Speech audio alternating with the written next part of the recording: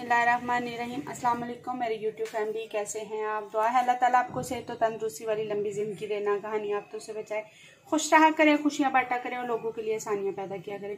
चस्का kitchen with बाबे बड़े ही मीठे मीठे चस्के तैयार कर रहे हैं। हम बना रहे हैं खोए वाले गुलाब जामुन, जो बहुत ही मज़ेदार और ये मेरी रिक्वेस्टेड वीडियो थी, जो कि मुझे बनानी पड़ी अभी।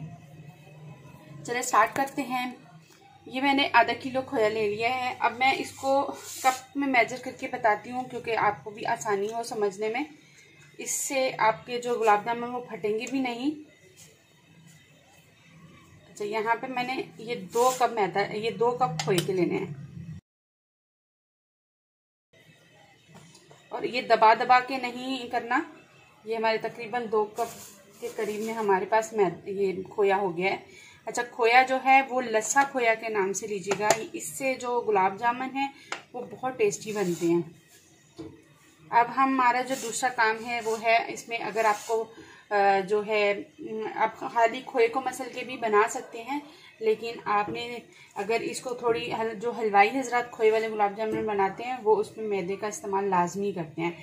तो दो कप मैदा आधा कप ये आप देख सकते हैं आधा कप मेरे पास मैदा है। ये अगर आप एक कप खोया है तो ये इसका तीसरा हिस्सा मैदा डलेगा। ठीक है? आसान अल्फाज में यही है कि ये एक कप अगर आप खोया ले रहे हैं तो आराम से आप इसका तीसरा हिस्सा जो है वो मैदे का लीजिएगा। तो यहाँ मैंने दो कप ले लिया तो यहाँ हाफ़ कप मेरा जो है ये मैदा चला जाएगा। अब इसका दूसरा है कि आप एक तो खुला बर्तन लें। परात ले लें, बड़ी सारी ट्रे ले लें, जिससे आपकी जो मसलने का जो वो हो आपका आराम से दूर तक आपका हाथ चला जाए। इसको आटे की तरह, इसको खोए को और मैदे को, इसको इसके अंदर बिल्कुल इस तरह मसलना है। खोया जो है, वो आपका चिकना होना चाहिए।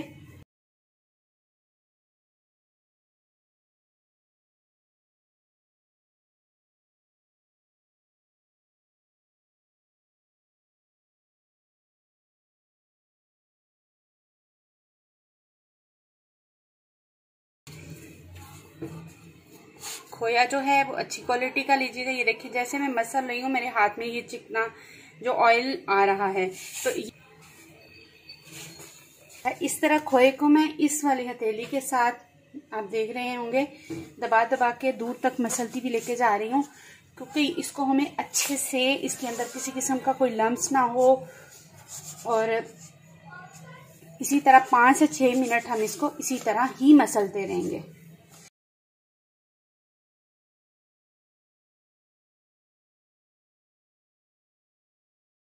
पे मैंने ये क्वार्टर कप जो आधे आधे से भी कम जो है ना, मैंने इलायची पाउडर का शामिल करूँगी।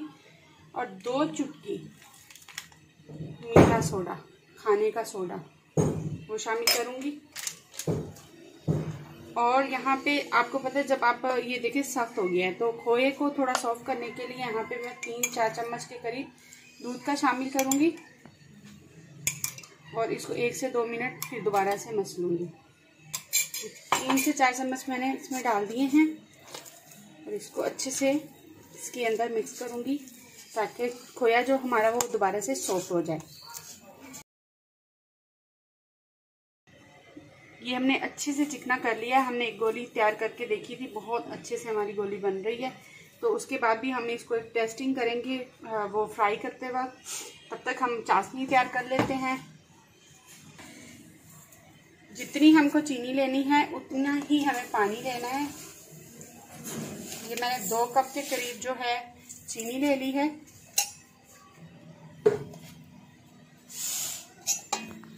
और दो कप मैं ही पानी डालूँगी।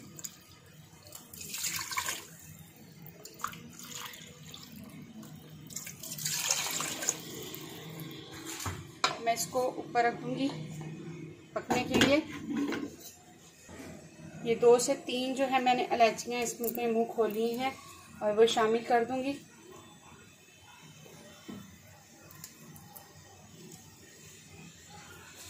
थोड़ी सी मैं केसर शामिल करूँगी, दो तीन जो है एक एक चुटकी के बराबर। अगर आपके पास है तो शामिल करते हैं, नहीं है तो आप स्किप भी कर सकते हैं या फ़ूड कलर भी शामिल कर सकते हैं। इसकी गोली तैयार करके चेक करते हैं। तो एक दफ़ा ये अच्छे खोए की अलामत होती है कि ये हल्का का आप देखें, आयल आ रहा है। ये मैंने खोया जो है, ये हलवाई से लिया है, जो खुद इसी खोए से बनाते हैं। तो इस वजह से ये बढ़िया क्वालिटी का उन्होंने हमें दिया है।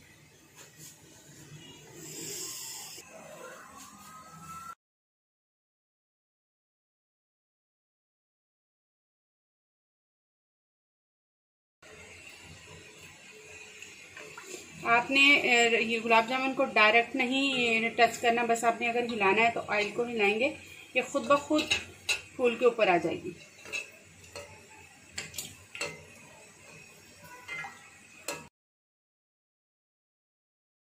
तो उसने अब छोड़ दिया है। ये अच्छे से अब खुद ब खुद हिलते हुए ये हम ऑयल को हिलाते जाएँगे और ये मिक्स होकर खुद ब खुद जाएगी। अब हम देख, देखते हैं, मुझे लगता है कि बिल्कुल परफेक्ट है। दूसरी साइड पे हमारी चाशनी जो है वो भी बिल्कुल रेडी हो चुकी है।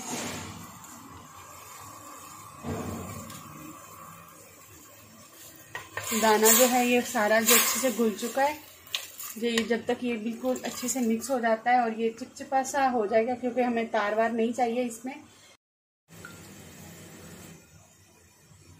गुलाब जामुन में किसी किस्म का कोई क्रैक नहीं पड़ा तो इसका मतलब है कि ये हमारा जो डो बन के बहुत अच्छे से रेडी हो चुका है। तो अब हम इसको बाकी जो डो है, इसको एक दफ़ा मसल के तो हम इसको स्टार्ट करते हैं। हमें गोलियाँ बनानी है, हम उतने उतने ही ये लोइयाँ काट लेंगे।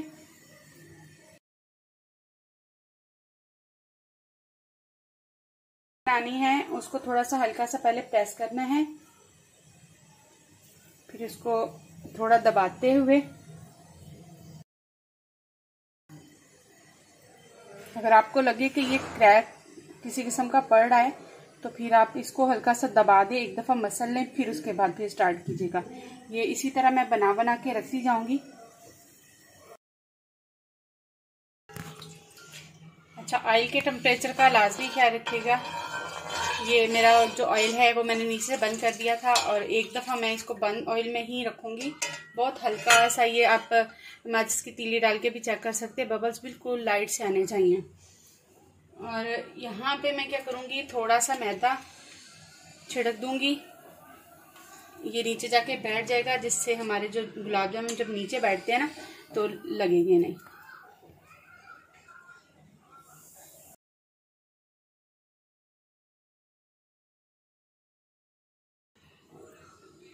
अभी मैंने आग इसमें नहीं जलाई, क्योंकि जो ऑयल है मेरा वो टेस्टिंग में कर रही थी, उसमें ही मेरा अच्छा खासा ऑयल गर्म हो चुका था। अब मैं आधे से भी कम डालूँगी। यहाँ पे देखिए, मैं बिल्कुल ऑयल को सिर्फ़ ही टच कर रही हूँ, गुलाब जामुन को डायरेक्टली टच नहीं कर रही हूँ, और ये इसी तरह घूमते जाएँगे। और जब ये थोड़ा सा कलर पकड़ लेंगे तो फिर मैं यूँ गोल गोल घुमाते हुए सब पे कलर एक जैसा ले आऊँगी।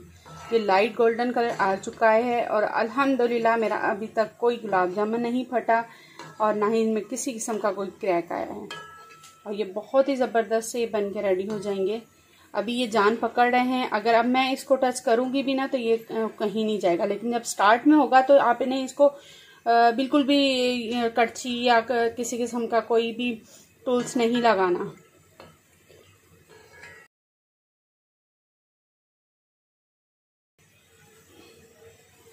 अब मैं इनको इसी तरह घुमा घुमा के, क्योंकि अब आँच जो है वो मैंने स्टार्ट कर दी है। पहले मैंने आग भी इनमें जो बंद कर दी थी, ताकि इसीलिए वजह से ये देखें माशाल्लाह आराम आराम से ही पक रहे हैं। तो ये अंदर तक पकेंगे। अगर हम फ़ौरन ऊपर से कलर आ जाएगा और ये फिर जो अंदर का जो है, वो बिल्कुल भी अच्छा नहीं पकेगा, कच्चापन आएगा, क्योंकि हमने मैदा शामिल किया है ना इसके अंदर। तो उसको भी तो पकना ज़रूरी है। तो बस इसी तरह हम इनको अब हम इनको इसके ऊपर देखिए आराम से घुमा रहे हैं। तो किसी किस्म के कोई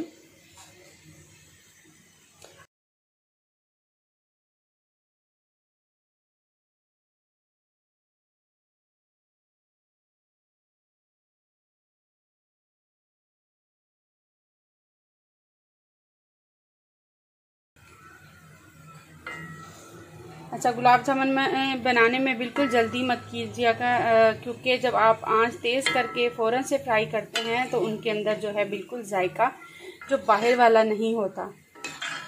तो इसी वजह से देखें मैं काफ़ी मुझे टाइम लग गया है एक वो फ्राई, बैच फ्राई करने में।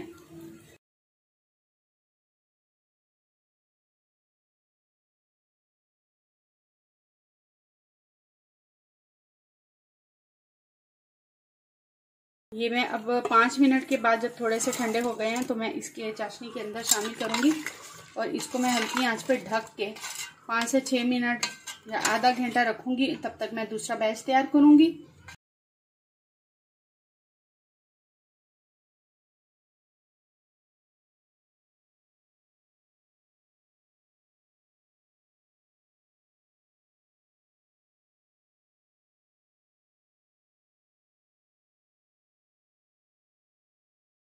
इनको ये जो बाकी बचे हैं, इनको मैं ज़्यादा काला करूँगी। इनमें ये पाँच छः जो मुझे काला गुलाब जामुन चाहिए। तो इसको मैं इसी तरह फ्राई करती रहूँगी और ये लाइट आँच हम हल्की ही रखेंगे, क्योंकि खुद से जो काले होंगे तो इसके अंदर से टेस्ट बहुत अच्छा आता है। तो ये देखिए, हमारा अच्छा खासा कलर आ चुका है। डार्क काला गुलाब जामुन, आपको इससे भी काला करना है तो आप कर सकते हैं। लेकिन बहुत ज़्यादा काला करने से फिर ऊपर थोड़ा हल्का हल्का कड़वाहट ना आ जाए, इस वजह से मैं इसको बहुत ज़्यादा काला नहीं करूँगी। बस इतना ही एक मिनट के बाद मैं इसको निकाल लूँगी क्योंकि मैंने आँच बहुत हल्की रखी थी, हल्की आँच पे मैंने फ्राई किया है। और यहाँ भी देखिए, मैंने जो पहले गुलाब जामुन डाले थे, वो माशाल्लाह माशाल्लाह देखें, कितने अच्छे से फूल चुके हैं और उन्होंने पूरा शीरा जो अपने अंदर सॉक कर लिया है। और इसी तरह एक एक करके ये इतने सॉफ्ट बने हैं। यार देखिए कितने सॉफ्ट गुलाब जामुन बने, माशाल्लाह। और इसी सीरे के साथ थोड़ा थोड़ा करके मैं इनको डालती जाऊँगी।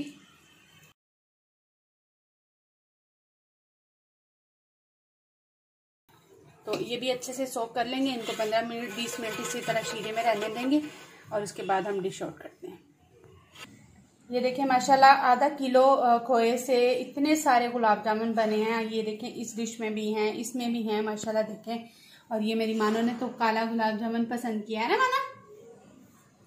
हाँ लाइक करें और सब्सक्राइब करें।